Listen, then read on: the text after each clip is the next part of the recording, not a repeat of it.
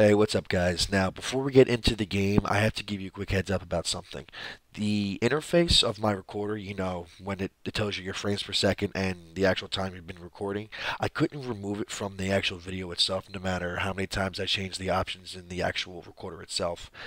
I just couldn't remove it, so I'm really sorry about this, but just please just try to ignore it.